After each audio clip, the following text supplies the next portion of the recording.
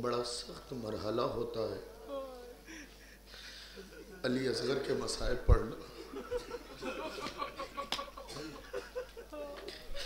میں ایک مرد ہو کے کسی ماں کے گود کے اجڑنے کے مسائب پڑھوں تو کیسے؟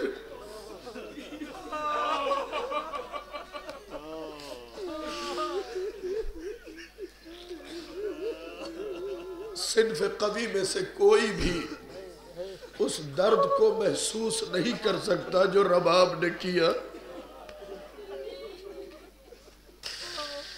میں دعائیہ جملے سے مسائب شروع کرتا ہوں کہ اگر کسی میری بہن کی گود خالی ہو، خدا رباب کی گود کے صدقے میں اس کی گود پڑھ میں مسائب نبی مسائب نہیں پڑھ سکتے۔ میں نے ان سے کہا تھا، سرکار، میں مولوی بعد میں ہوں ازادار پہلے ہوں۔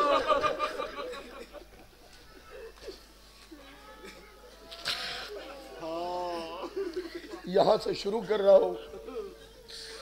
انہوں خانوں نے اپنا حق ادا کیا، اللہ آپ کو جزا دے۔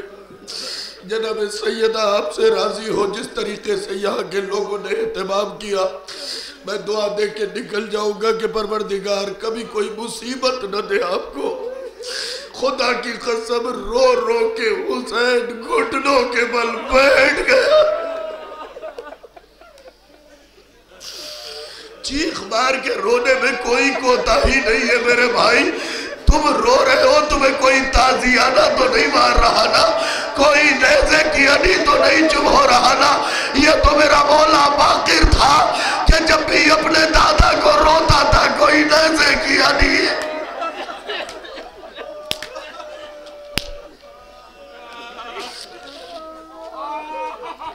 میرے جملوں پہ ان انجمن آئے باتمی نے غور نہیں کیا۔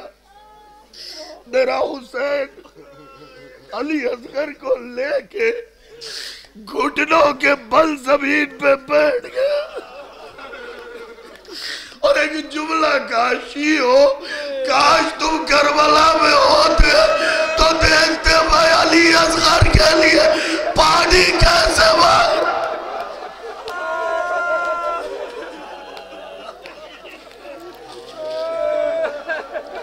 کاش تم کربلا میں ہوتے تو دیکھتے میں علی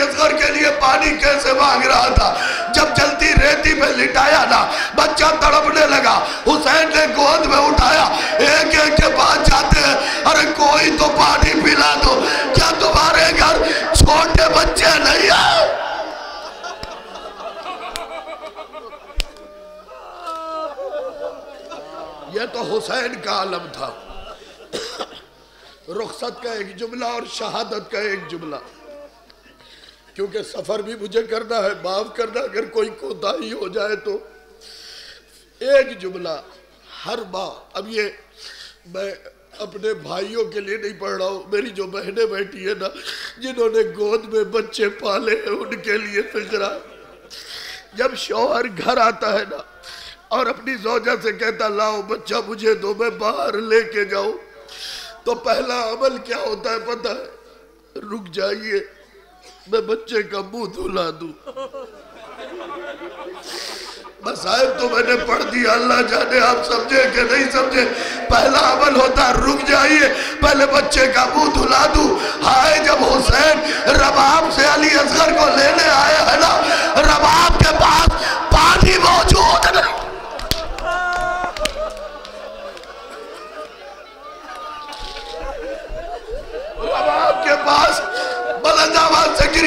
کرو۔ علامہ حسین بخش جاڑا نے ایک جملہ کہا تھا، میری مائے بہنیں سنے جب تک علی اصغر کے مصائب ہونا، اپنے بچے کو پیار نہ کرنا۔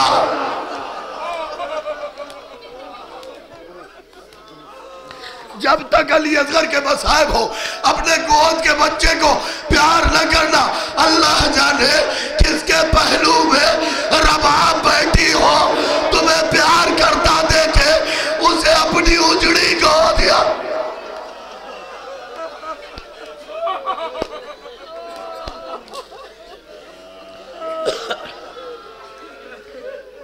مظلومیت سنیں گے ایک ماں کی۔ ایک ماں کی مجبوری بیان کر رہا ہوں۔ پانی ہے نہیں۔ پھر رباب نے کیا کیا؟ اصغر کو گود میں لیا۔ اپنے چہرے کے نیچے کر کے اتنا روئی ہے۔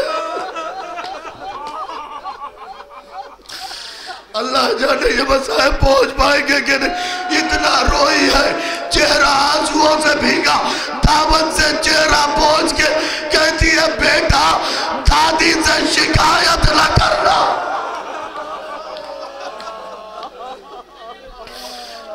تیری ماں مجبور تھی۔ تیری ماں مجبور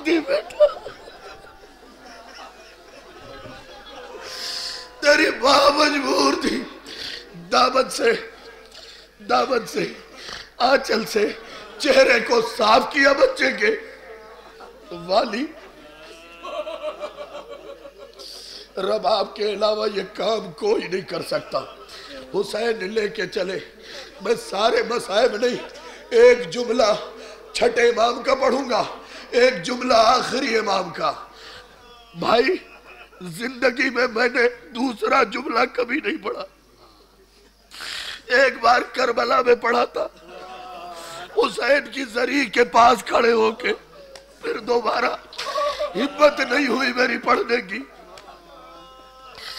اب بھی نہیں روئیں گے تو ہم کب روئیں گے؟ تمہیں بتاؤ حسین کی ایک ذریعے میں خدا کرے تم سب کربلا جاؤ۔ حسین کی ایک ذریعے میں تین خبریں ہونی چاہیے، لیکن خبریں صرف دو ہیں۔ لیٹنے والے تین ہیں۔ گھروں تک روتے ہوئے جاؤ گے۔ قبریں دو ہیں، لیٹنے والے تین ہیں۔ دو قبریں جس کی علی اکبر اور حسین کی، تیسری قبر علی اصغر کی نہیں ہے۔ علی اصغر اب بھی حسین کے سینے پہ سید سجاد جب دفن کرنے آئے ہیں نا، حسین کے لاجے سے آواز آئے بیٹا، علی اصغر کی خبر الگ لبا لالا تیرا بھئیا چھوٹا۔ میرے سینے پہ لٹا دو۔ ایک ہاں، علامہ حافظ کفایت حسین صاحب ایک واقعہ پڑھتے تھے۔ میں پڑھنے لگا ہوں۔ مسائے میں نے چھوڑ دیا، بہت گریہ کیا آپ نے۔ علامہ حافظ کے فائد حسین صاحب ایک واقعہ پڑھتے تھے، بس وہ واقعہ سنے، سمیٹ لیا۔ ایک ہندو عورت اور ایک شیعہ خاتون سفر کر رہے تھے ساتھ۔ آپس میں گفتگو شروع ہوئی۔ شیعہ عورت نے پوچھا، آپ اپنے بچے گھر چھوڑ کے آئیے اللہ حافظ کے فائد حسین صاحب، اللہ ان کے درجات بلند کرے، آپ اپنے بچے گھر چھوڑ کے آئیے کسی کی گود خالی اور کوئی اس سے یہ سوال کر لینا میں اسی لیے ہاتھ پھیلا پھیلا کے مانگتا ہوں اور اپنی ماں بہنوں سے بھی کہوں گا، کبھی یہ نہ کہا کرو کہ اے مولا مجھے اولاد دے دیجیے، جھولے کو پکڑ کے کہو بی بی رباب، میں تیرے بیٹے کا جھولا جھولاؤں گی، مجھے اجرت میں اولاد دے دے تاکہ تیرے علی اصغر کا پاتا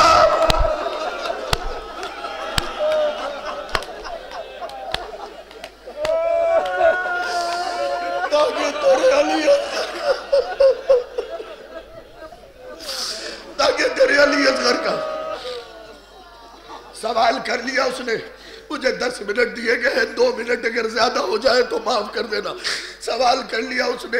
چہرہ اتر گیا ہندو عورت کا۔ چہرہ اتر گیا۔ اس نے کہا، میری گود خالی ہے۔ بات اور آگے بڑھی۔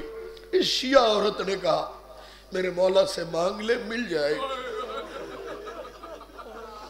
میرے مولا سے مانگ لے، مل جائے گا۔ دونوں نے ایک دوسرے کو پتا دیا، اللہ جانے کس دل سے مانگا۔ اولاد ہو بھی گئی۔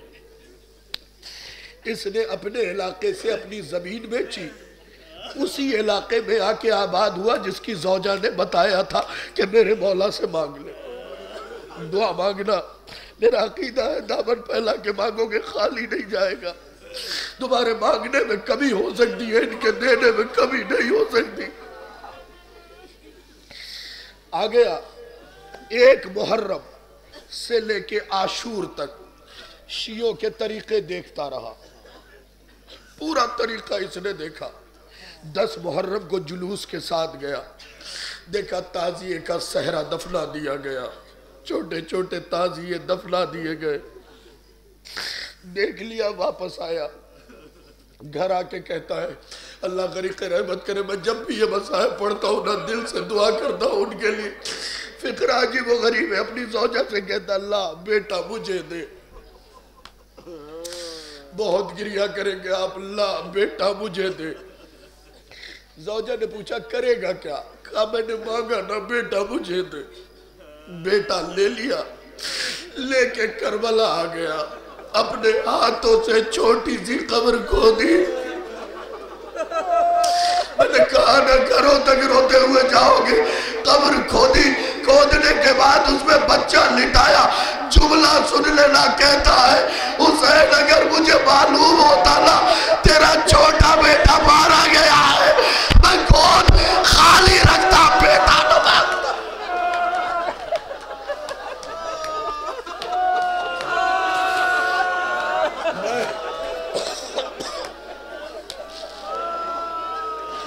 گود خالی رکھتا۔ اگر مجھے پتا ہوتا نا، تیرا بیٹا مارا گیا ہے، میں گود خالی رکھتا، بیٹا نہ مانگتا۔ جب تیرا بیٹا نہ بچا، میں بیٹے کو کھلا کے کروں گا کیا؟ سگے باپ نے سگے بیٹے کے بدن پہ مٹی ڈال دی۔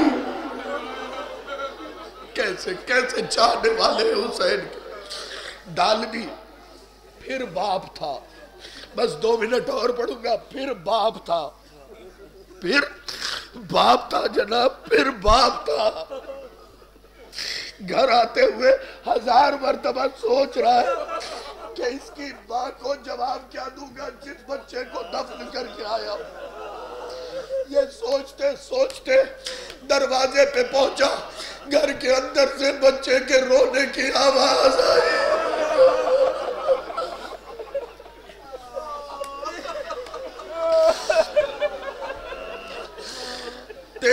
تیز قدموں سے دروازے کے اندر داخل ہوا، گھر کے اندر داخل ہوا۔ زوجہ کے قریب جا کے کہتا ہے سچ بتانا، یہ بچہ آیا کہاں سے؟ اس عورت نے کہا، پہلے مجھے یہ بتا تو نے چھوڑا کہا تھا؟ کہ یہ نہیں بتاؤں گا، سچی بتا، یہ بچہ آیا کہاں سے؟ کہ تیرے آنے سے پہلے ایک مرقہ بھوج بھی بھی آئی تھی، میرے بچے کو گود میں لیے ہوئی تھی اپنے شوہر سے کہہ دینا، ہم جو دے دیتے ہیں، وہ واپس نہیں۔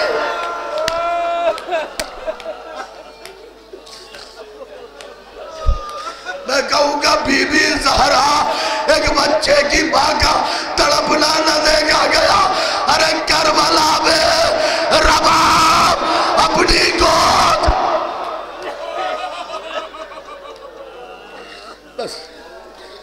سمٹ گئی بات۔ تیر جو حضرت علی اصغر پہ لگا، حیات نے کبھی ساتھ دیا، تو وہ جملہ سناؤں گا جو امام زمانہ مسائب جناب علی اصغر میں پڑھتے ہیں۔ آج صرف اتنا سن لو زوب حل اصغر من الازن الالوزن علی اصغر ایک کان سے دوسرے کان تک زبا ہو گیا۔ میں نے پڑھ دیا، تم نے سن لیا۔ میرا پڑھنا آسان، تمہارا سننا آسان۔ پتا تو اس رباب کو ہے نا، جب تیر چلا، آواز دی اصغر۔ میرے لال ہوشیار۔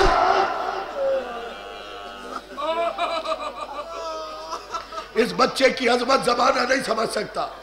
تیر اصغر کو لگ نہیں رہا تھا ہمک کے۔ علی اصغر نے گلے پہ تیر لیا، پلٹ کے خیمے کی طرف دیکھا۔ عجب نہیں، زمانے بے زبانی سے کہا با تیر بڑا تھا، گلا چھوٹا تھا، اس لیے بابا کو لگ گیا۔ اگر میں بڑا ہوتا۔ بس، سمٹ گئی اپنی آوازوں کو، روکو۔ اس پہ اس مسائب پہ مل کے پرسا دیں گے ساتھ میں۔ لیکن خدا کے لیے سرو سینہ پیارا نہ کرنا۔ تمہیں پتا جو نہیں ہے، حسین کا نقصان کیا ہوا؟ کتنا بڑا نقصان ہوا ہے حسین کا۔ علی اصغر کی صورت میں تیر لگے ہوئے بچے کو لے کے آئے۔ جملہ سنو گے، آیت اللہ قاسم قزوینی کا۔ جب جب مسائب علی اصغر سنو گے نا، یہ فقرہ یاد آئے گا تمہیں۔ وہ کہتے ہیں، علی اکبر کے سینے سے برچی نکالنا آسان ہے۔ نا نا یہ مجمع سمجھ نہیں سکا۔ بی بی میری مدد کر دیجیے، میں سمجھا دوں۔ علی اصغر کے کلیجے سے برچی نکالنا آسان ہے۔ اصغر کے کلے سے تیر نکالنا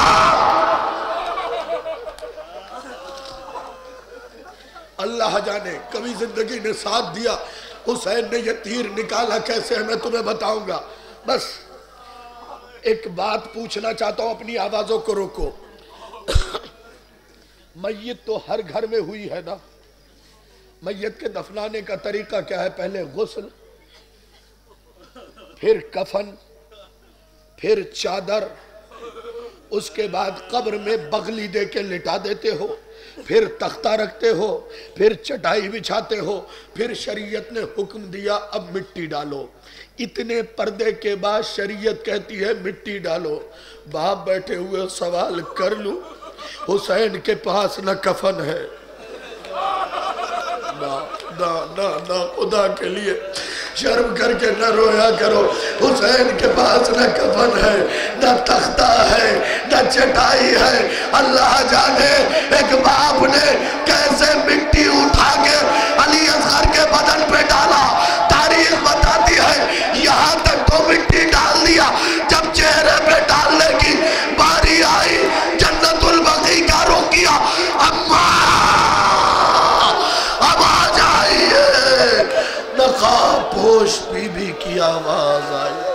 حسین ہٹ جاؤ۔